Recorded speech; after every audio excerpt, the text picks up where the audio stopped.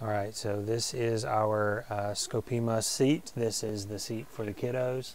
Um, the way, when, whenever it's bedtime, um, the way that you're going to flip this down is you've got a handle right here on the side. You just pull it. And the cool thing is you can actually put this in any position. So if you want this to be like a seat that faces the rear, you could do that. And you can hang out with the bed up and check out an awesome view in the back. But if you want to sleep, you can let it all the way down. And now you've got a twin size bed back here. Uh, this back also levers up if you need it to. You don't ever have to put this up or down, but if you once again have a view, you can, um, in the front of the seat, there's the ability to slide the seat forward and let that all the way up. And then to get it back, you just grab right here, pull up, make sure your seat belt is out, and then I'll usually hold this seat belt